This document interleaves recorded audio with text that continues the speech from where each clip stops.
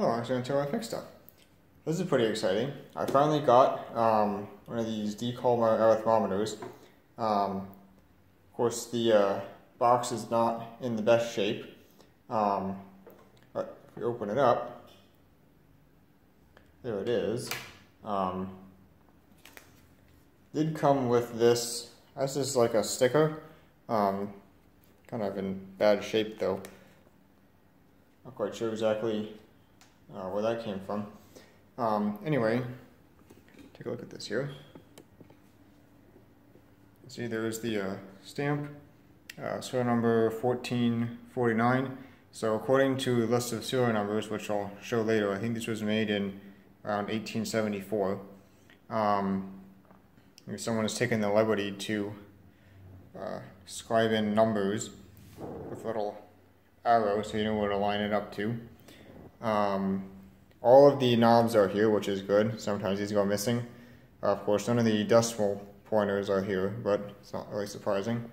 And this machine is interesting because you see right here, um, which you can kind of see, says the arithmometer uh, Tate's patent improvements. Um, and what that means is uh, Tate, who later went on to make Tate's arithmometer in England, uh, made some modifications to this machine. Um, the most obvious being these handles here. Usually these are just, uh, I'm guessing, wood knobs, but they've installed cranks. Um, there are also some other modifications that we'll get into later. Um, but the first thing that I want to do is get this out of the box so that I can get the box out of here before it incurs any more damage. You can see it's uh, separating there. This is the back corner that came off, um, separating here. So I want to get this out.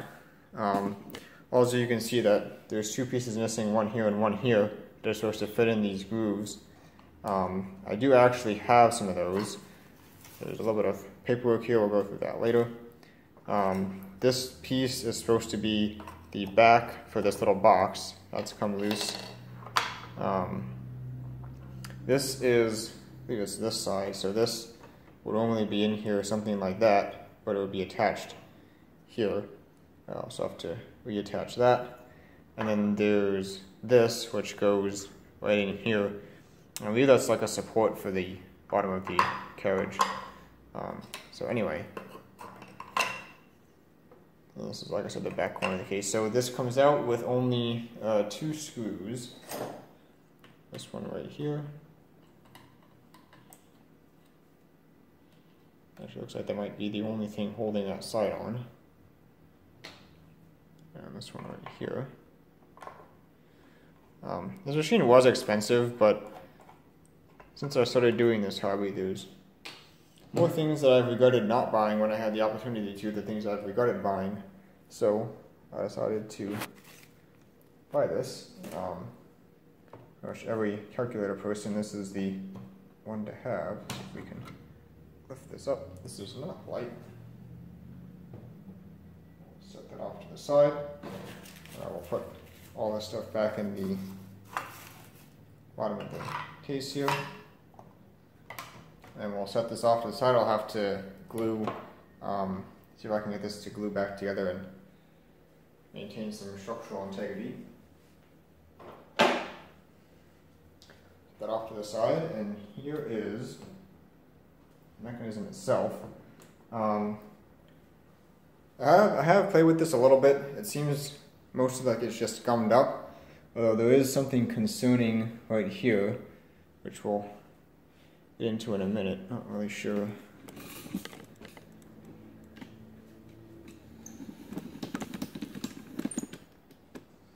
you can see, but one of the teeth is a little bit messed up there, so I'll have to see if we can do something about that. It's not missing, it's just kind of bent, so hopefully maybe we can bend it back um, or something. To see what we can do there.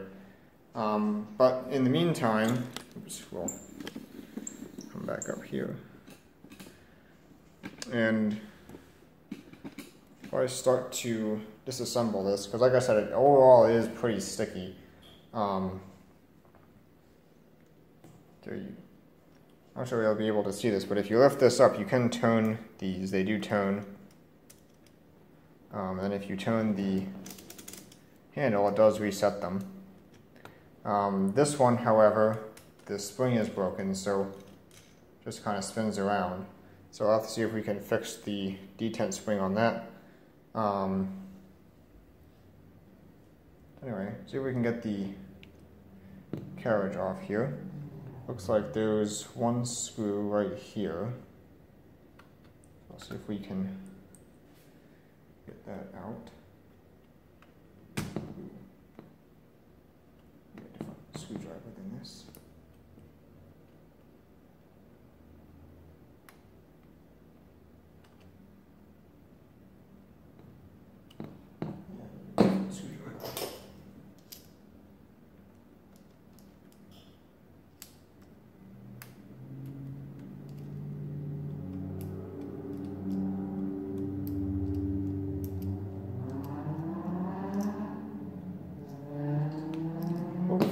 this rod will slide out, maybe. I don't think there's any more that hold it. I'm gonna have to give it a little tap or something. So let me see if I can get that rod out and we'll go from there. Alright, so that's all. You can see the uh, carriage here. Um, just set that to the side here. Um, it was just, you know, sticky in there with dirt and dried grease and stuff. You can see the uh, rod itself is pretty dirty, so it's got a little tiny bit of rust at the one end there. Um, anyway, that's out. So now you get a better look at the back of the machine here. So these pieces right here are part of uh, what Layton added as his improvements. Uh, these are springs that actually provide some drag to these shafts here. Um, and we'll probably, probably, have to take this panel off to see, but he actually removed the um, overshoot locks when he added these. Um, why? I don't really know. Um, I don't really know what the advantage of having these instead of the mechanical overshoot locks are. Um, you know, other machines like the Friden and stuff like that uh, didn't use these. They did use the mechanical um, overshoot locks. So I'm not really sure why this was an improvement, but uh, that's what he did. Um, so you see these do move, but they're really stiff. So probably there's a bunch of dried grease underneath these springs and potentially in other bearing places as well. So um, there's a lot of stiffness there Of course, these are all, don't really want to move. I'm guessing that, because these just have a little finger that goes into a gear that slides on the shaft. So probably the, the shaft is just greasy and dirty, so the gear doesn't want to slide. Um, and this is pretty well stuck as well. So, see what we can take off. This unscrews. That comes right off like that. Um, this has a pin in it but it looks like by taking off two screws here, um, you might be able to take off the whole uh, handle piece. So I think that's what I'm going to do. I don't want to really mess with that pin. You know, that pin's been in there for almost 150 years. Um, knowing my luck with taper pins, it's probably not going to come out, and I really don't want to risk messing anything up here. So just take out this little block comes off and you can see there's some dirt inside there that had to be cleaned up anyway so that should free that up. I can see the shaft there. So now let's see. Looks like there's only four little screws that hold this top down some of them are loose so might be somewhat concerning.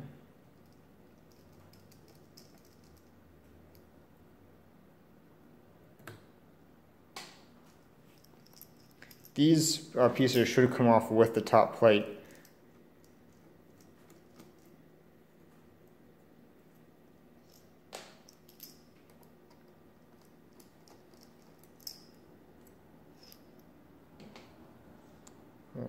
whoops, there's one more I missed right here. Whoops, if you take all the screws out,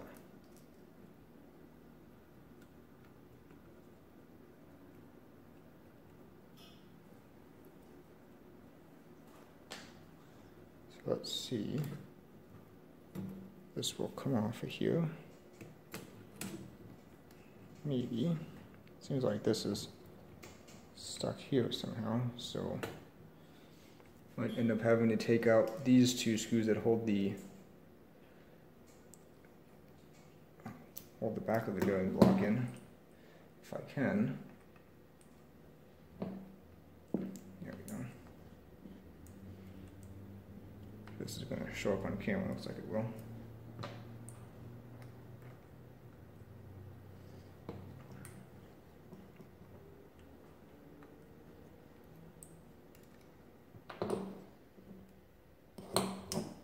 Let's see if this whole thing Oh, I see the issue. This must want to have to come out too.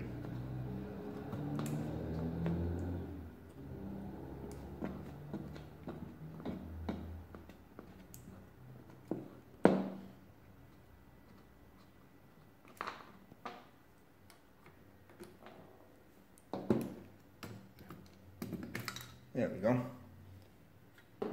Just set this off to the side with all of its and you can see here, uh, those are, these are those pins I was talking about. These fingers here, set this down. Those fingers there go into these here and then slide these and you can see so you don't want to slide much at all uh, just because of the dried grease and dirt on those shafts and you can see where the uh, overshoot mechanism was removed. Um, so on the back of these gears here, there should be, and they call it like a Maltese cross or something. Basically, it's a disc that has little kind of like semicircles cut out of it. And those semicircles mesh with these um, outer semicircles here.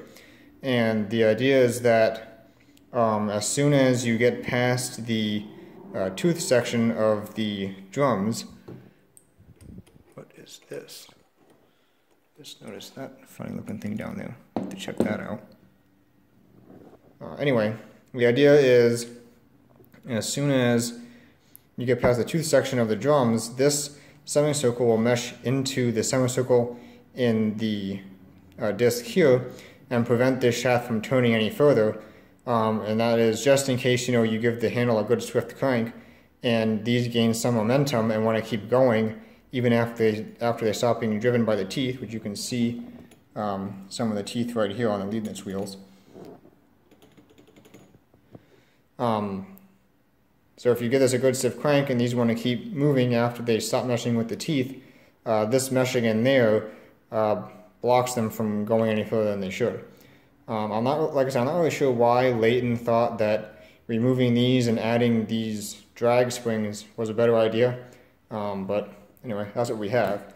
Uh, if you go look at uh, Layton's arithmometer, um, it has the same setup. It has these uh, drag springs. But so um, I'm going to go through here. Actually, you can see these are the uh, carry trips.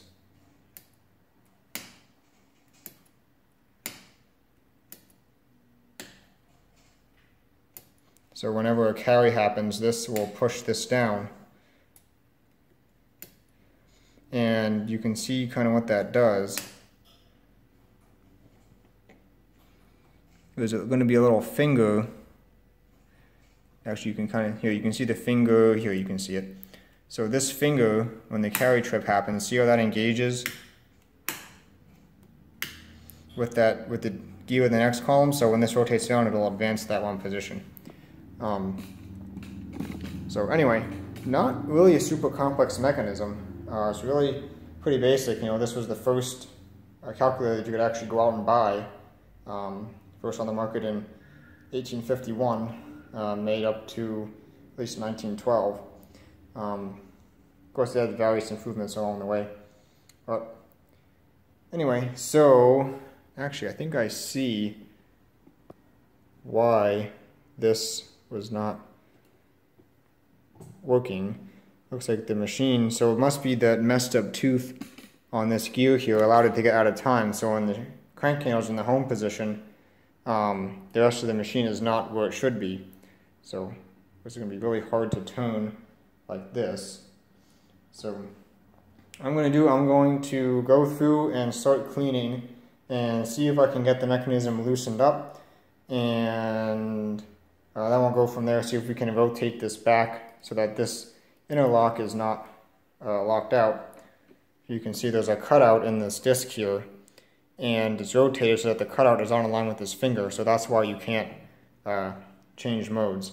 So this will have to rotate one way or the other, but it's it's too stiff to do by hand now. So uh, I'm gonna go go through and start cleaning stuff up and see if I can get that freed up. Um, actually, can kind of see what's stiff and what's not. So see how this shaft is nice and free. This is nice and free. This one feels pretty sticky. So I have to put some uh, lubrication on that. This one doesn't want to, oh, there it goes. That one's pretty free. That one's pretty free. So this one seems to be the problem child. So uh, like I said, I'll start cleaning up um, and see if we can get this freed up. And then we'll see uh, where we go from there. Oh, I think I found the issue. So that a funny looking piece that distracted me earlier down here actually was the problem. Turns out it's the nib of somebody's fountain pen. Uh, of course it got all bent up. These should be, sure if I can get them back, but these should be, you know, spread out like your regular uh, fountain pen nub or nib or whatever you want to call it. Um, so that had gotten, I guess they dropped it through one of the slots and somehow got sucked into the bevel gears uh, in between these two columns here, but uh, with that out of there now, this moves nice and free. So right there is where we should be. See now how this finger is lined up? See if this will, yep. So that actually looks pretty, pretty good. It's a bit sticky, so we'll have to uh, clean it up somewhat, but all right, so that's uh, good news. Um, so that's probably what messed up the teeth here then. Somebody got that, that nub jammed down in there and then tried to uh, force past it with the crank. Um, what messed these up. So hopefully we can uh, recover, get down on, on that and just have a look at bad it is. So right here you can see those two teeth are kind of messed up. That one might also be messed up. Of course now we're starting to drive, so let me starting to drive something. Yeah, let me move, let me reset all these uh, sliders to zero so we don't try and add anything. We're not ready for that yet. So we can go around now. Now we are hitting on the counter increment. There. And now we are back to where we started. So, so we got one real bad one there, and one possible one there. Just some brass shavings I don't have to clean up. So, hopefully we can recover from that. Uh, so far, this is the only issue really that I see here. Um, that clicking is just the uh, counter increment. Um, looking at the uh, Leibniz drums, I don't really see any issues those. You can see here. Looks like it'll be okay. So hopefully, uh, of course, we don't really know until we get this all back together and test it out, but so that's uh, definitely definitely glad to have found the issue. Um, um, so of course still going to go through and clean it up as best that I can and oil everything. Um, but, you know, weird. Death by fountain pen. Um, yeah, that's all, I, all, really all I got to say for now. Um, just uh, on the cleaning. You can see here's the uh, counter increment. Um, so in this column, the finger that would have driven the uh, carry, if there had been a column before this, is what drives the counter increment via this little thing here. So see that just increment by one for every rotation. Increments, um, it's like it increments, actually, actually what increments? It must be there. Must, yeah, see this wide tooth gap here must slot up into there and grab that little nub. As you can see is the uh, edge of the counter wheel. Alright, so feel a lot better now that this is already so smooth even before I've done any cleaning. So yeah, on to the cleaning. Uh, so I've been working on um, cleaning and oiling um, some stuff here. Um, so all these are, I'm trying to grab this one. This is the carrier, but this is the, all these are oiled up, cleaned up, slide nice and smooth. Um, I did take off all of the uh, drag springs or whatever you want to call them. Um, I cleaned this one up and installed it and I adjusted it so that there's just enough drag to kind of hold this in place. Um, the idea being that, let's move this up here.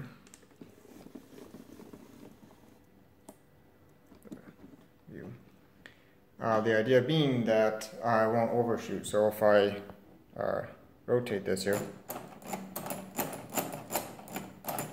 so it's nice and it's loose enough that the machine can drive it.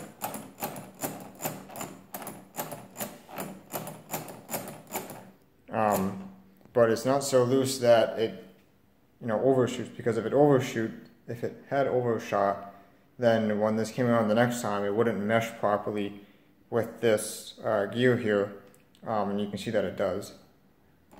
So for example, if I, if I start this and then go backwards, now it's going to be not lined up properly, so if I come back again, see it, it jams there. So if, if this had not stopped at exactly the right point, this is what would happen the next time you come around. So if I just manipulate this slightly, and see that's not what happens. It always stops at exactly the right time to uh, mesh with that next time around. So I'm going to repeat that process on all the other ones, get all those adjusted so that um, the machine smoothly, runs smoothly. Um, also, I took off the part of the carry trips, so that's this piece here. It normally sits right about in there. Uh, took that off and took off all these little fingers that brought on it to clean that up.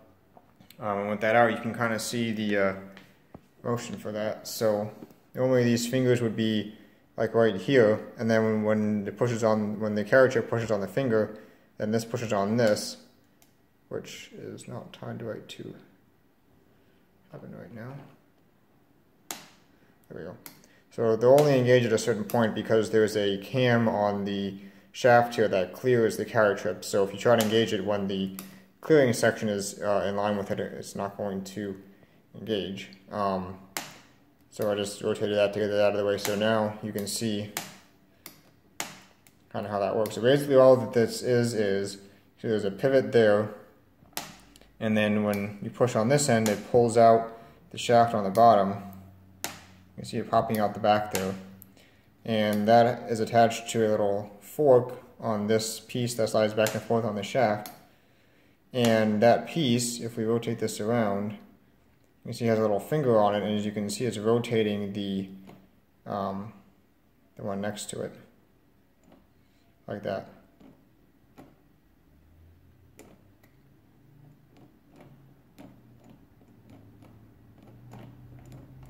So then when this is disengaged, that moves the finger out of the way of that gear, so now it doesn't move it uh, when you rotate this around. So that's basically how the carries work. There's a little nub on the uh, bottom, you can see right there, that little nub there uh, on the bottom of each accumulator digit.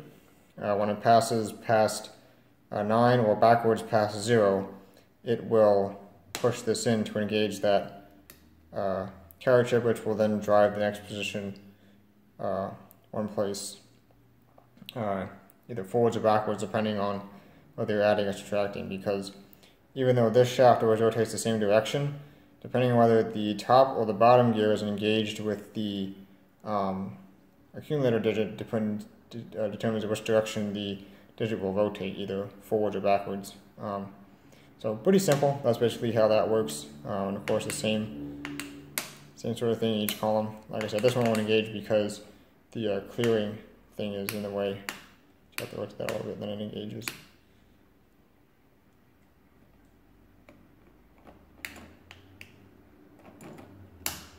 There we go.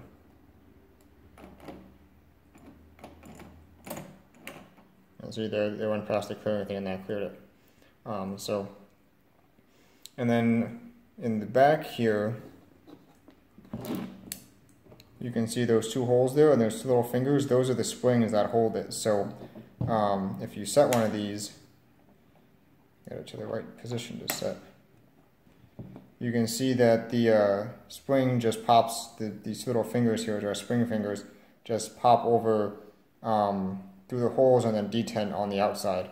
Uh, so that's how they have that set up, the detent there.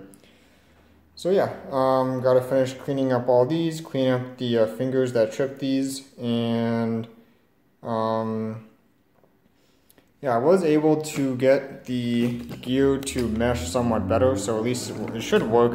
Um, like I said, of course, the, like I said, well, like I should have said, the appropriate thing here to do, of course, would be to replace both this gear and the uh, corresponding gear on the bottom of the crank handle, but um, I don't have any way to do that right now. So we'll just uh, see if we can get it to go like this, um, just to kind of clean up those teeth a little bit, and I think it'll work.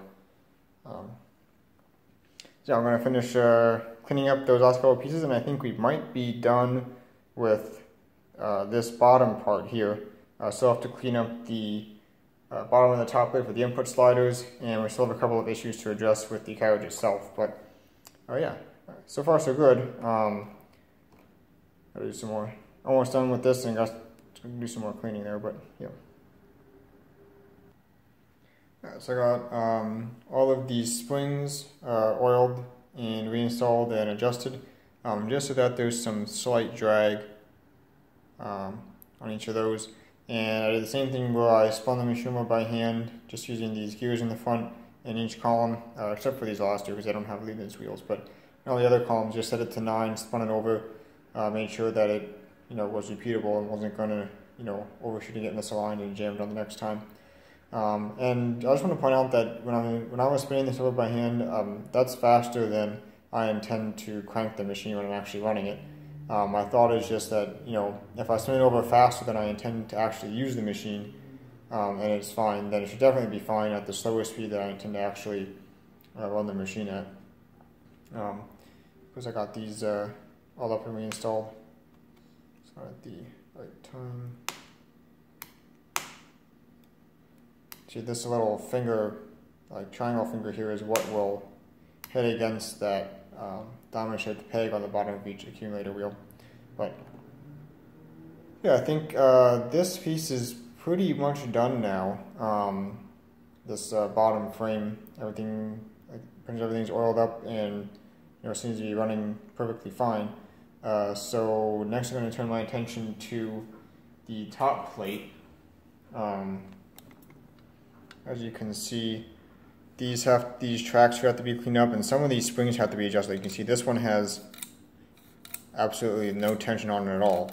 And the idea of these is that I kind of get stuck there, but the idea of these is that um, these will detent so that when you slide these, they'll detent into you know a set position. Um, but right now, this one is just you know completely free, so that has to be addressed.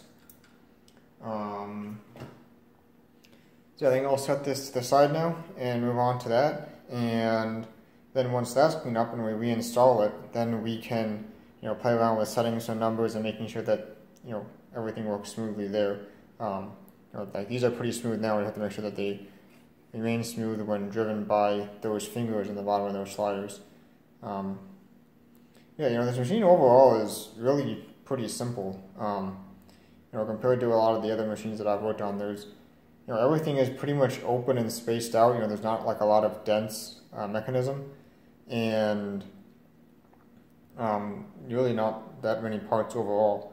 Um, so yeah, just gonna jump over that, and then once we get that done, the only thing left is the carriage. Oh, and the case too, which I have been working on. Um, so I've got the uh, side glued back on, and um, Mr. Rapid Calculator is acting as a weight uh, to hold that in place while the glue dries. So um, once that's back on, then I'll address the internal pieces of the uh, case as well. So I have the uh, machine pretty far disassembled. I've had the carriage removed and the uh, input slider plate that goes here also removed. Um, and with those out of the way, you can get a pretty good idea of the workings of the mechanism here. So this shaft here is the main drive shaft. Um, the crank on the front plate is attached to a shaft that goes down here and has a bevel gear that meshes with this gear, which then drives this shaft all the way across. And then this shaft, each of these bevel gears drives a bevel gear on the inside of this these Leibniz wheels here. So basically how this works is um, on the front plate, which would normally be right about here, you'll set one of these sliders to the number you want to enter. And what that does is, on the back of those, there's little fingers you see. And those little fingers will be inside little grooves here on these wheels and will pull them to whatever position you set via the slider. So if I push this to say right about here, and then if I turn the crank, everything will rotate around. As you see, this is now meshing with the teeth on that position of the wheel. So I think that was 7, right? So by having the gear in that position, this should mesh, mesh with seven of the teeth. I think I might have a little bit high. I think it's catching the bottom of the eighth tooth. Let's tap this down just a little bit. So now, yeah, so now it's going to mesh with seven of the teeth on the Leibniz wheel. Um, and so if I wanted to do nine, then I would, when I set the finger to nine, this would be all the way up here. Now it's going to mesh with nine of the teeth on the Leibniz wheel. And of course, all the other columns are set to zero. Uh, you can see the gears all the way down there not meshing with anything. Uh, that's the basic principle of how you select and add a number. Um, pretty simple. And then the carry, carry works by these little trips here. So when the machine is in the correct time, of course, that would be after you've added in the first column. So we'll rotate this so that, or while you're adding in the first column, I should say. So while this Leibniz wheel would be meshing with the gear in the first column, this can trip, and see it stays in that position. That's the carry shift. So if this wheel had rotated um, past 9 to 10, or if I was doing subtraction and had rotated backwards past 0 to 9, this will, there's a little peg on the bottom of the digit wheel that will trip this. And now if I continue, notice there's this finger here that will push the next column forward one position. And if I keep going, uh, so I went around too many times, but you'll see that this also reset then. There's a, a cam on the bottom of that trip. Get this back too. So you can see when I push this down, this pushes on the lever, which has a cantilever or a pivot down in here, which is attached to a shift fork, which pulls this piece forward such that this peg will align with this gear. In the untripped position, this peg is pushed back so it misses the teeth of this gear and bypasses in this non-tooth section. Um, like I said, then there's a, a, a, cam on the bottom of that piece, so as it keeps rotating, uh, that once it's done with its carry, that cam will ride up on a pin and push this back to the untripped position. And what it's hitting now is the uh, counter increment. So there's another finger, similar to these fingers, on this first drum um, because there is no carry input from this side, there's nothing over here. Instead of that finger being the carry like it is on the rest of the drums, it's actually um, fixed to always engage and that's the counter increment. So that finger will engage with one of the teeth here and push that forward one position. And um, the top side of this engages with the counter digit in that position to turn that one position forward uh, as that per cycle as that finger passes by on the bottom. Um, normally, these machines would have uh, on the star-shaped pieces attached to each of these points for overshoot protection. Uh, you can see like here there's a cam, here there's a cam, uh, and the cams are different timings on all the different Leibniz uh, cylinders. The idea being that once this is done with its adding, that cam will engage with a cutout in the star to block this from rotating any further so that, you know, if you give this a, quick crank and these gain some momentum, they might want to keep going even after they disengaged uh, because, the, you know, once, once this is out of the tooth section, you know, I can spin this as much as I want. There's nothing stopping me. So if these had gained some momentum, you know, they could, you know, go further than you'd intended and add uh, extra digits or extra numbers uh, than what you had entered. Like if I entered a 5 and this gained some momentum, it would actually result in adding a 6 because there's nothing to stop this from doing that. But what does, what, so what they did to stop that was they added those uh, star pieces in there, and they call them a Maltese cross. And as soon as the tooth section of the Leibniz wheel has moved past the uh, was no longer driving the shaft, that cam would have engaged with a cutout in the star so that this is blocked from turning any further. Um, and then once it stops, then this will keep going and the cam will disengage, but since it's already stopped, then it's fine. It's going to stay where it is. Um, however, on this machine, uh, this does not have that. Uh, this was modified by Tate um, to remove those and instead add these uh, springs here which adds some drag. So there's a little bit of drag on each of these uh, digit shafts, and that's the uh, overshoot protection. I'm not exactly sure why that's a better system, or why Tate thought that was a better system than the interlocks with the star wheels, but um, that's what he did. So that's what we have. But anyway, um, normally they would have the overshoot protection here, but this particular machine is modified to have it here with these pieces. Um, the only thing to point out really is this is your direction change. And all that this does is this will move the this carriage piece here, not really a carriage, but um, you can see that these are double bevel gears. So when it's in this position, the bottom half of the gear is pushed up to engage with the accumulator digit. However, when you push it down, now this piece disengages and this piece engages, and that just has the effect of, even though you turn the crank handle the same way and the machine runs the same way, the accumulator is driven opposite directions. So like when this shaft rotates this way, you can see that the accumulator digit would rotate this way. But if I engage it this way, now when this shaft rotates this way, the accumulator digit rotates the other way. Uh, so that's all that is. Um, and this has a little cutout here so that you can only change direction when the, the machine is uh, not in the middle of a cycle. That's what the cutout is. As soon as you start a cycle, you can see, you start this way, now you can't change direction. And normally this would not be allowed to go backwards. Um, on the bottom of the top plate here, there's a ratchet, so the crank can only go one way. Um, I'm just tuning it backwards manually here for demonstration purposes. Uh, so that's pretty much it. The only thing to mention is on the uh, back here, the carry trips, find one that's there. So you can see that these are held in place by little spring detents, which are these fingers right here.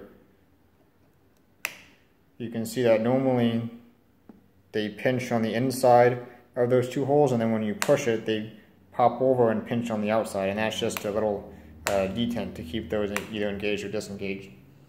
Um, and that's pretty much it for how this works, really. Uh, you can see how this uh, direction change works. It's just a pivot lever, which then uh, has a, a, rod that goes over here to pivot a shaft that runs all the way across the bottom and then that shaft has pins on it, which you can see one of them here. So when that shaft on the bottom rotates, this pin will uh, push either direction. That's how that works. It's a pretty pretty basic machine, really. Uh, I think that pretty much accounts for, you know, all the operations going on here. Um, as far as the carriage, take a look at the carriage here. So this is the top of the carriage.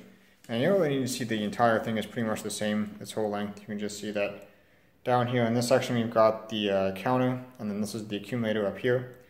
And then it just continues on, uh, same idea. Uh, this crank is for clearing the counter, I think, and the other crank is for clearing the accumulator. Uh, the interesting part is on the bottom. Let's flip this over so you can see here are the bevel gears that will engage with um, these bevel gears. So we can either engage with with it on the top side or the bottom side. And this I still have to fix this yet. One of the springs is uh, broken there. You can see it.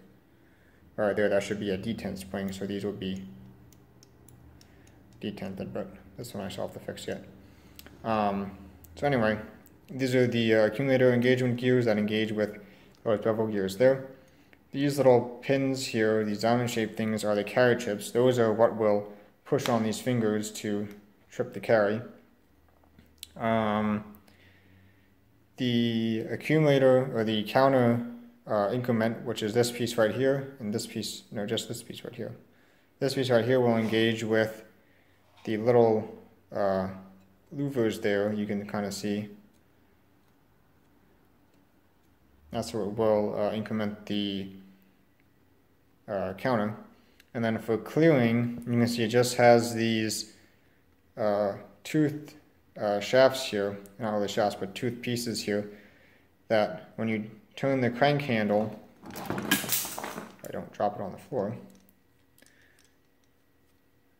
they will drop down, you see how it's dropped down kind of, to engage with uh, teeth underneath these bevel teeth. And if I turn it back, see how it pops out, disengages? And those geared sections down there have one tooth missing at the zero position. So when this engages, it will drive it until it gets to where the tooth is missing, which is when this wheel is at zero. And then because the tooth is missing, you can't drive it anymore. So these all stop at zero. And basically the same thing for the counter, which you can actually see here, the tooth is missing right there.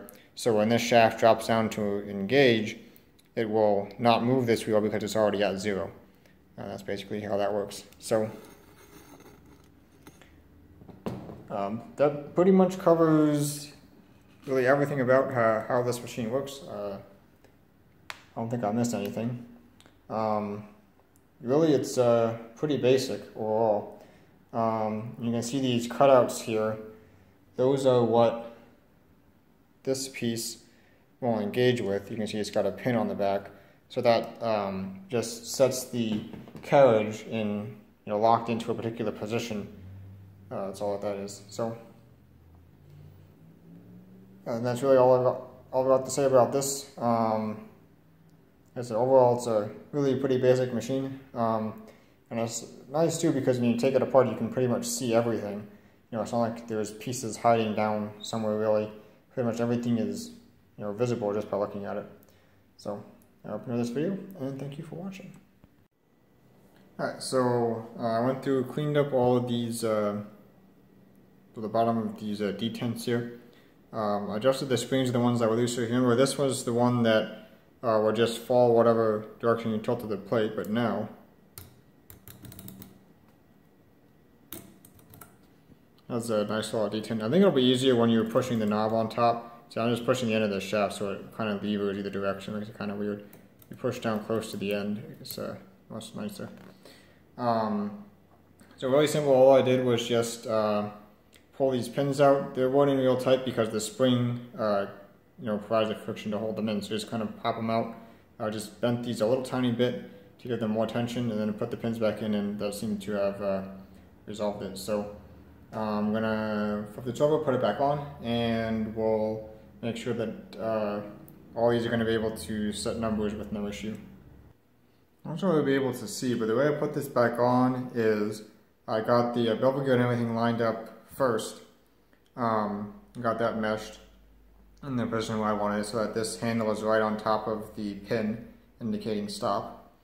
Um, and then I slid all of these up and then used my uh, pick here through these slits to slide the gears up. And then, uh, I'm not sure if you to see this on camera, but you can actually see right down in here, at least I can, get, there we go. Uh, you can see right down in here, that is the finger on the bottom of the slider, and you can see how it's in the groove there. So, um, I left all the screws out of the place, so this was free, and then I just went through and looking through this gap here, um, slid the gears up to get all of them in uh, line and with the pins dropped in the slots there, and then put the screws in the top plate. Uh, so now let's uh, move this around and see how everything works. Alright, so these should be able to set. Yeah, I think that's fine. This one's a little bit loose, but yeah, I might have to readjust that one. That's a bit looser than I'd like.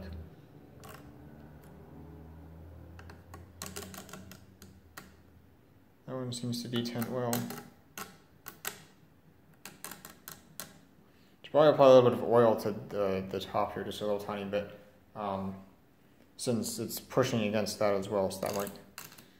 See this one, I got too much oil on, so there's oil on top, and that one's a lot smoother, so that'll probably help additionally. That one's pretty nice. Well, this one probably has the least wear in it. Um, usually you're doing most of your calculations with, you know, maybe two, three, four digit numbers. So column six is a lot smoother.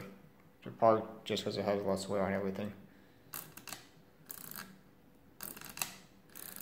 Overall, not bad. Like I said, I'm going to put some oil on this one, I think might help that. Same with this one. Uh, but this one I'm going to have to take back off and readjust because that's it's a little bit looser than I would would like that to be.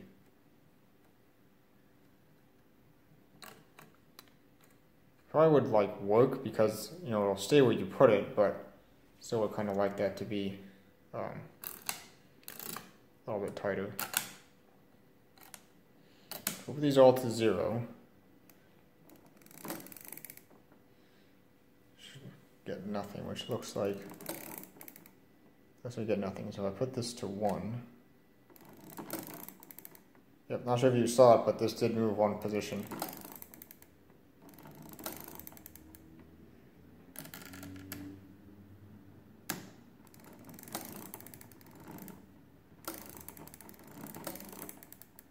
Yeah, I think that'll work out just fine. But like I said, I'm going to take this off and readjust this one. But yeah, overall, um, that'll work out okay. Just have to adjust that. Over here though, I will check all nines and make sure there's not too much drag.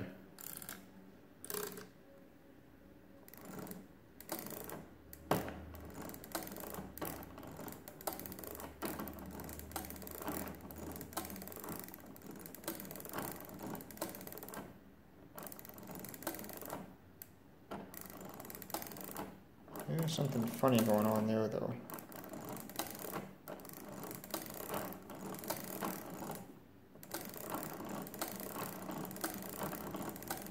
This seems okay now, though. I'm not sure. Uh, so it happens. I have to take a look into what that is. But right after I guess off the last Leibniz wheel, it feels like.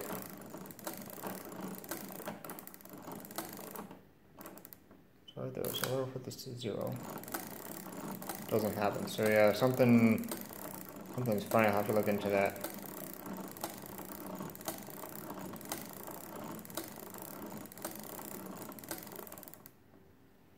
Yeah, um, pretty satisfied with that so far. Alright, so as you can see, I've got the uh, carriage back on here. Um, so I go over what I what all I did here because I did quite a bit of work um, off camera. But as you can see, I've got one set in there now, we got this set to addition. Return the handle. I'm not sure if you can, you can't really see, but um, one has appeared here and here in the counter. So we got one there, there, and one in the counter. If I change this to subtraction, takes away the one there, takes away the one there, and if I go again, so that it does subtract and it carries all the way across. Um, notice that the alignment here is not 100% perfect. It's definitely readable. Um, I think that is possibly due to the um, the the way they have the Maltese cross removed and the uh, spring drag for overshoot. Um, with the, I believe with the Maltese cross in here, when that uh, cam comes on and locks in, it should lock it positively directly in line. Uh, but because that's been removed, it I guess sometimes locks a little bit off like that. Um, that's just going to be the way it has to be. Um, you know the uh, the detents in the accumulator, the spring detents, are really not to you know force the wheels into a particular place. They're mainly there to keep them in place when you lift the um, register and move it, or you lift the carriage and move it. So they're not strong enough to overcome the um, that drag spring on the double bevel gears. So um, that's not a problem. I think the problem is that because they moved that Maltese cross, it doesn't always positively lock in the set position. So I really don't, I don't really understand why they removed that. Um, like I said, you know, multiple other orthogonal designs going forward, you know, even 100 years after this was made, we're still using that Maltese cross type thing. So really don't understand what the idea behind removing it was. But anyway, um, you can see that carry all the way across works. Um, and then of course it increments for subtraction as well. I'll change this back. There we go. They will also uh, carry all the way across for addition as well. So that seems to work. So, um, a couple of things. One thing was the first time I tested this, the carry all the way across did not work. It stopped in the third column, and it turned out that one of the uh, multiple Leibniz wheels were actually out of time. Uh, not quite sure how that happened, but uh, what was happening was because the second and third Leibniz wheel were actually timed together instead of this one being one step behind.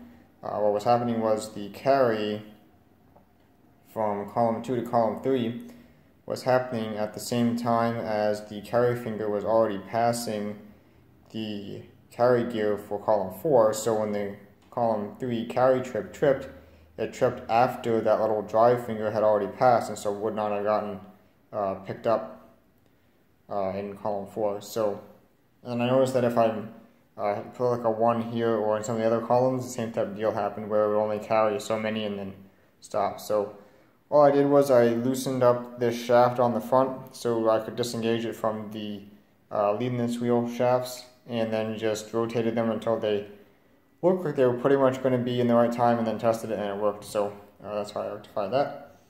Um, as far as the carriage itself, lift this up here. Um, did some cleaning here. Uh, the clearing mechanism I think I described before is taken care of by this uh, long bar here for the uh, accumulator. You see the teeth here. When you turn the handle, this bar will go forward to engage with gears on each of the accumulator digits and then it rotates them until they all get to zero. Um, there's a missing tooth on each of the gears, not this bottom gear, the bevel gear on the bottom, that's what engages with those old bevel gears there. There's actually a gear up behind that that has a missing tooth. Uh, and that's what this long uh, piece here engages with. Uh, so this will slide across engaging with that gear, rotating it until it gets to the point where the tooth is missing, which of course that will stop then and stay at zero. Um, and then the same idea for the uh, counter, you can see right there the gear is missing a tooth right there so that when this shaft slides across, it's the little ramp type thing there where it's going to drop down and then slide across.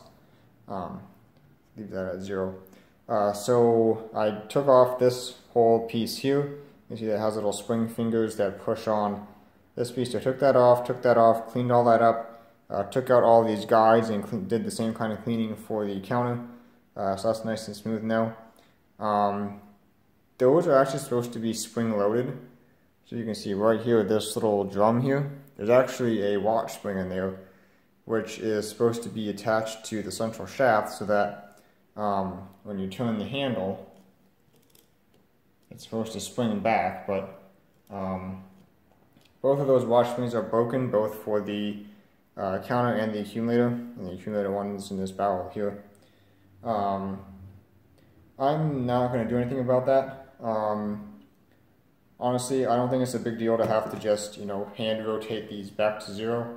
And given that this machine is so old, um, not sure how comfortable I'd be with these, you know, snapping back to zero anyway, or not to zero, but snapping back home anyway. So I'm not going to worry about that. Um, just a minor thing. And actually, I'm not even sure how to get this one apart.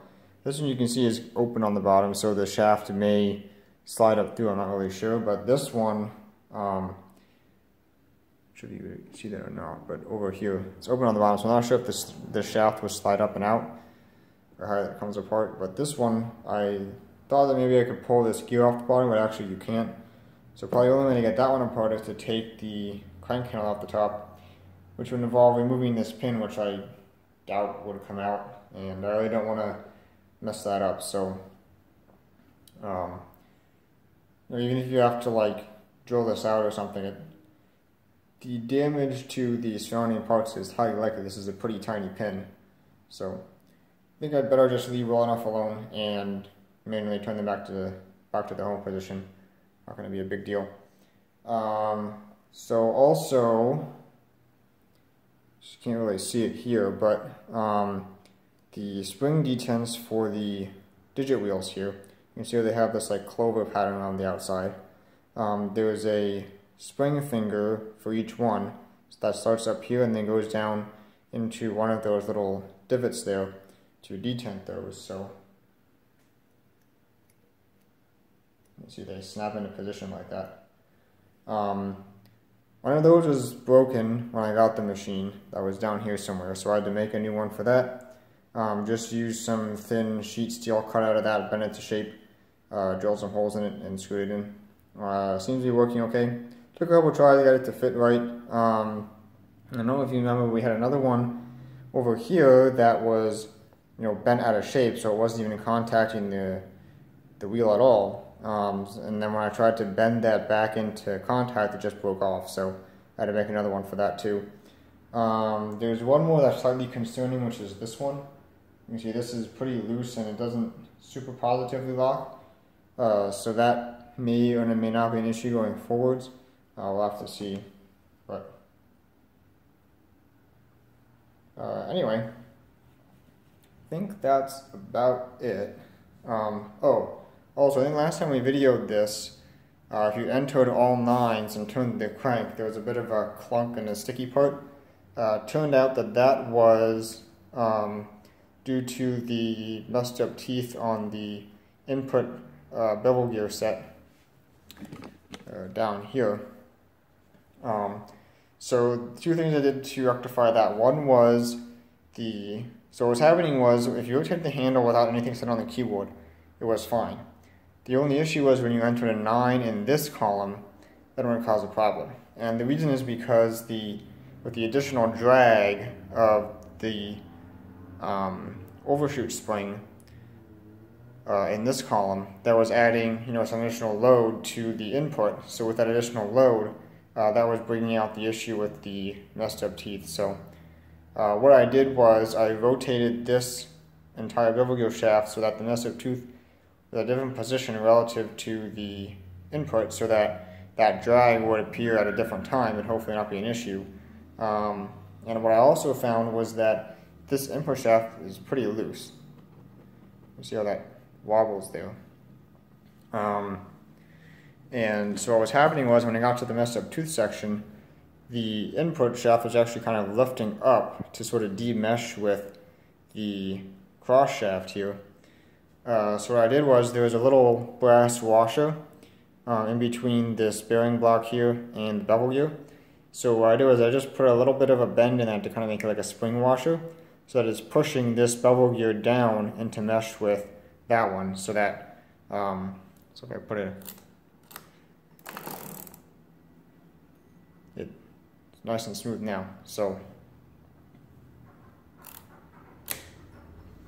I think that's really about it. Um, did a little bit of light cleaning on the carriage. There was some dirty areas in between all these setting knobs here, so clean that up. Uh, also, some of the setting knobs themselves were loose.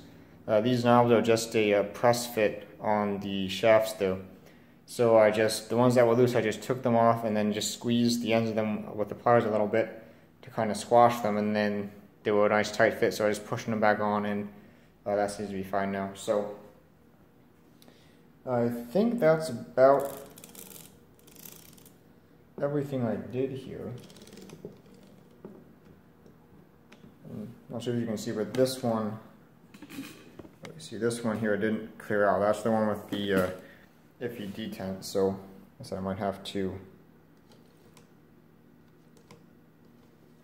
there it went, now it cleared out. So maybe you're gonna have to make another spring detent for that, I'm not really sure. Uh, something interesting, at least that I found interesting about this machine, is that there are no uh, coil springs that I found in here at all.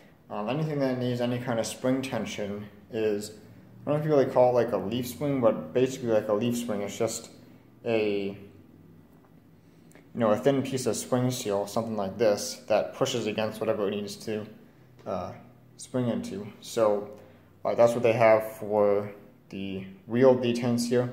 This uh, piece of spring that you know, is screwed on here and then has a arch down into the detents on there.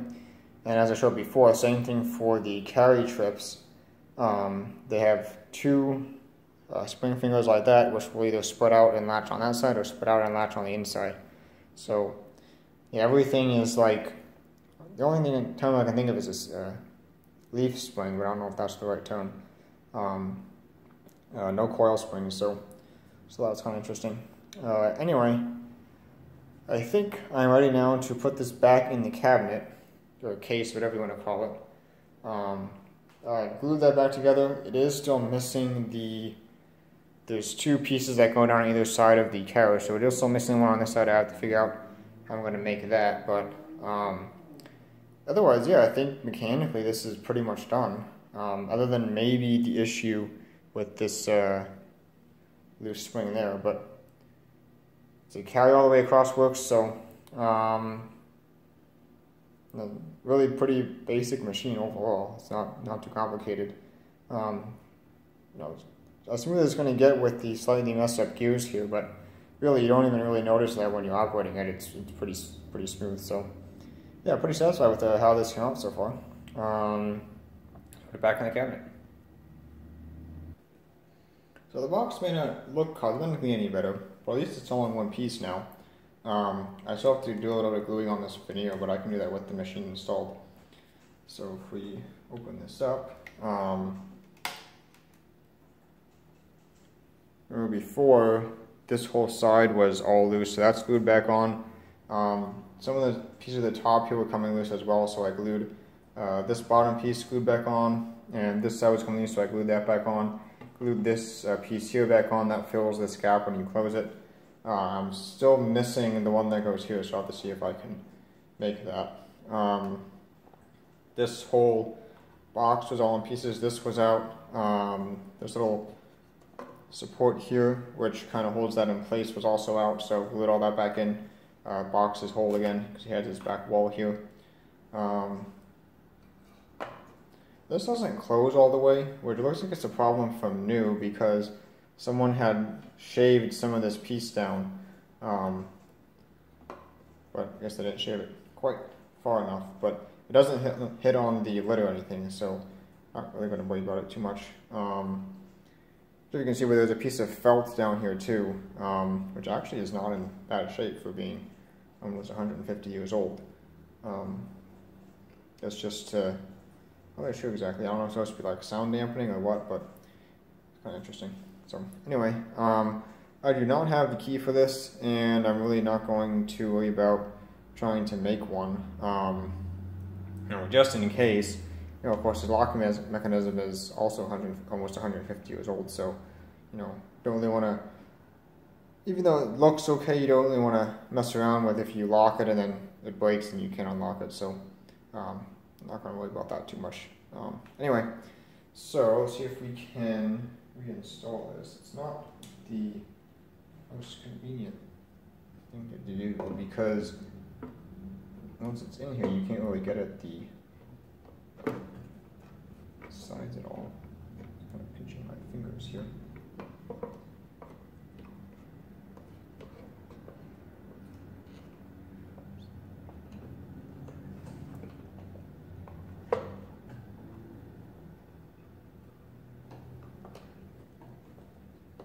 This side is in.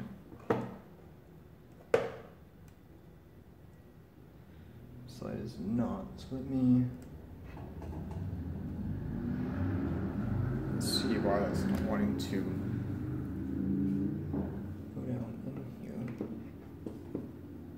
Really, it should just. Let me take a look at that, see why that's not dropping in. Alright, so it's in now. It turned out that this um, piece of wood here had gotten, uh, when I glued that in, it wasn't exactly perfectly aligned. Um, so that's why, because this was over slightly, there wasn't no space for this machine to fit in. So just had to take that back out and then um, realign everything all up, glue it back in. Uh, so the glue is drying now, but um, you know, screwed it on the bottom and now it's screwed on the top as well. So that should, you know, align it ideally. Um, the door still works. So um,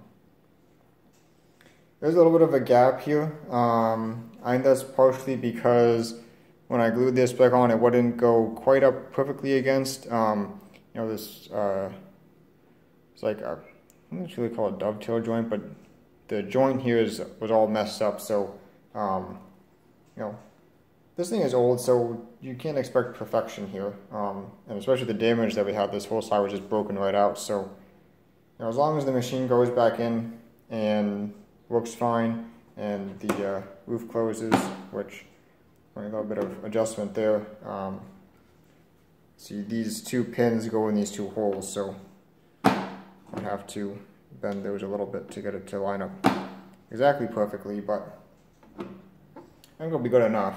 Um, so anyway, if we back in here,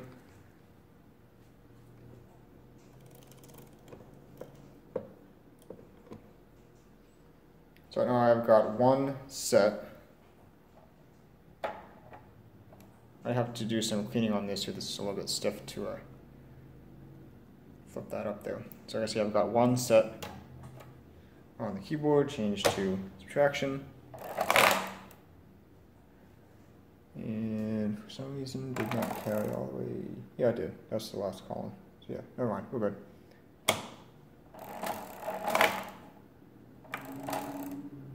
Carry over there though. That's interesting.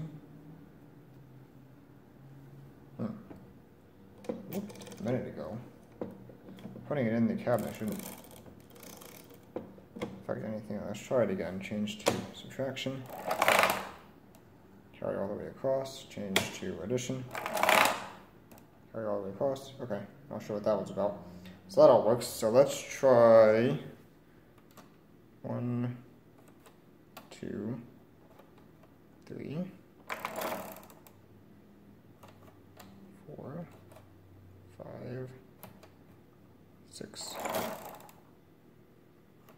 seven, eight, nine, nine, eight, seven. This one's a little bit stiff. I think that might have been one of the springs that I adjusted. So I made it a little bit stiff, but it's uh, definitely movable. Six, five, four, three, two, one. I'm not sure if you can read it, but 3330 is correct. Uh, you can see we've got six operations counted, so that seems to be fine. Uh, so, just lift this up.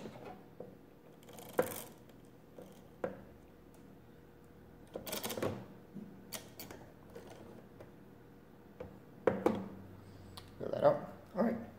Um, of course, this particular column here with the loose detent doesn't always exactly clear out, so I might address that in the future, but um, yeah, for now, um, I'm going to make a separate video doing the uh, full demonstration um, for people who just want to see it demonstrated and not know, don't care about the repair. Um, so issues that remain are um, getting these pins lined up with these holes in the front, um, potentially that one loose spring detent all the way over here. Um, this handle is a bit stiff to fold up and down, so I'll probably have to look into that. Um, and just the overall, the case is old and wood and not perfect. So, but function functionally though, um, everything you know seems fine. We've got our carries, so um, seems to add properly. Uh, also, we're missing the decimal pointers, but um, not sure if I can make some of those or not. Oh, uh, while we're here, we did forget to look at were those typewritten papers in the, that came in the cabinet here. Let's uh, take a look at those very carefully. Um, not sure if these came with the machine when it was purchased. Um, I think the date on this machine, based on the serial number here, number 1449, is around 1876. I want to say 1874, really, but I think it's actually 1876, which I believe was one year after the typewriter was invented. So, uh, not sure how popular they were. Um, just seems like a general uh, Directions for use.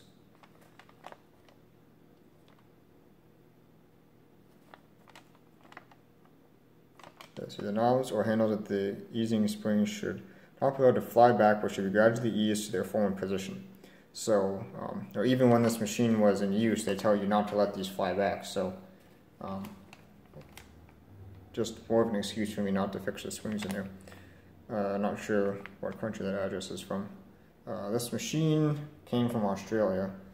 Um, but it, so this machine was made in France, and then judging by the uh, information on the top here, uh, was modified by Tate, would have had to gone to England. You can see, looks like Farringdon Street, London is the address given there. Um, and then I purchased it from Australia, so I'm not sure. You know, this address is a in England or a in Australia.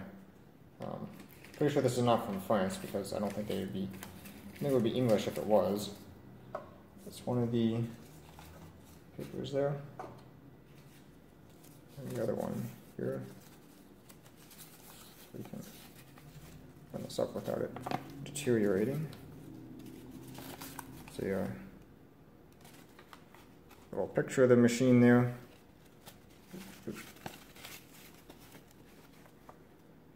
Just uh, pointing out different parts of it.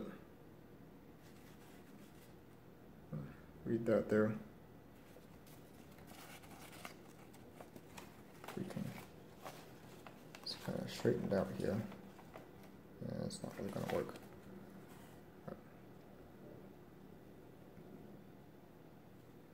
So capacity and stuff. So yeah, anyway, kind of interesting. Not sure how long this machine would have been in service. Um, these were made up until I believe 1915, but by 1915, you know, the calculator market had changed dramatically. You know, this, this particular model would have been introduced in 1865, um, and really there was not really anything to compete with it at all. Um, until I think Burckhardt started making his arithmometers in uh, 1878. So, you know, from 18, or the original one out in 1850, and then this redesign which added the um, the full counter there, and I think might have done some rearrangement of the location of this little box. Uh, it was in came out in 1865, and so from 1850 until really 1878, if you wanted a machine that would do, you know, the four operations, uh, this was it. You know, the comptometer came out in even later in 1887. Uh, and that really was only good for addition and subtraction when it came out. Um, division and multiplication wouldn't really be feasible on the original machine. But anyway, and there was no other you know design of machine, you know, because Burckhardt basically just copied this um, until the pinwheel machines came out in the 1890s. So this machine, when it originally came out in the 1850s, and you know this was made in the 1870s, this was basically it. If you wanted a calculator, this is what you got. The only thing available. But by 1915, when the production of these ended, there were so many other options, and only a few years after that, uh, the electric machines came to market. So, um, Ray, the person I bought this from, said it was made in 1912, but I think they were going off the uh, Payen serial numbers. Um, after Thomas de Colmar died, I believe his son took over the business, and then after his son, the lead mechanic, um, I forgot his first name, but his last name was Payen, took over the business, and then he changed the logo to have his name on it, and at some point reset the serial numbers. So um, if you go by the Payen serial numbers, I think 1449 would, would put it around somewhere around 1912, but um, as you can see based on this, this still says uh, Thomas de Colmar, so this is the uh, earlier version. And Payen made some enhancements too. Um, like this has the uh, rotating, originally one had knobs, but this one has cranks for clearing. Uh, Payen added the uh, slide clearing to his machines, which actually I believe was not his invention. Um, I think Tate actually had that when he came out with his own arithmometer in I believe the early 1880s. Um, there's another thing I wanted to point out too. So this here, so I'm not sure if I got a good shot of this yet. Um, you can read what it says. It's kind of hard to read some places. Um, but it says the arithmometer Tate's patent improvements. And so it looks like originally uh, Tate must have had some kind of business modifying de Colmar arithmometers uh, to his patent, and but later he went on to design his own arithmometer, um, which which included some and more of those improvements. Uh, like on this machine, we had the um, the Maltese cross interlocks replaced with the drag springs. Uh, if you look at Tate's arithmometer, that also has that same setup. Instead of the Maltese crosses, it has the uh, drag springs, but he also made some other changes as well in his machines. Um, I believe he replaced the double leaf spring carry uh, trip detents um, with coil springs or something like that, or some other type of spring mechanism, uh, along with a few other things. So um, it's kind of interesting. I don't know uh, how much is known about these modified arithmometers, um, but if you search Tate's arithmometer, the only thing that comes up is his business and when that was founded. So, uh, you know, not sure when he started doing this or how many of these machines he did before starting his own or before releasing his own uh, in-house manufactured arithmometer. But anyway, um, basically it just tells you how to adjust the um, the springs to get the right tension. Um, see what it says. Tension is sufficient. The wheel remains stationary until the movable end of this says gauge rises, so the height marked when pushed motion through the wheel. So maybe you're supposed to have some kind of special tool to adjust that, not really sure. Um, something interesting here. The motor panel must be turned at a steady rate not exceeding 100 revolutions per minute. Uh, it's kind of interesting. Uh, until you just how to clean it and oil it. There's the adjuster. C. Layton and Company. So it's Farringdon Street, London. And Layton went on to manufacture uh, Tate's own design arithmometers. Um, so Tate's arithmometer is actually manufactured by uh, this guy, C. Layton Company. So uh, anyway, I think that's about it for now. Um, like I said, a few small things here and there that may address in the future. And like I said, I will be making a another video on the full demonstration, all four operations of this machine. But that's about it for now. So enjoyed this video, and thank you for watching.